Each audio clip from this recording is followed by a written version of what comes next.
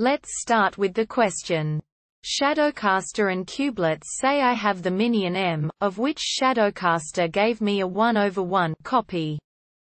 I let Carnivorous Cube consume the copy. What will be the stats of the pair summoned upon death of the cube? Those of M, or 1 over 1. So how can we solve this? There's one possible answer. Answer 1.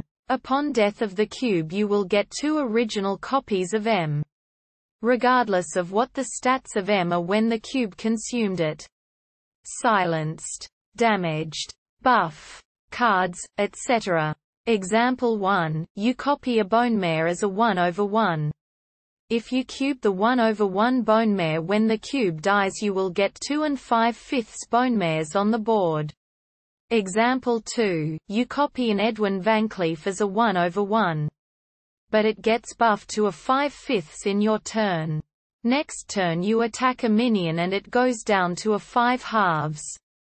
You cube him. The cube dies, you get 2 and 2 halves Edwin Vancleefs on the board. I hope this answer helped, and if it did, please drop a comment and subscribe.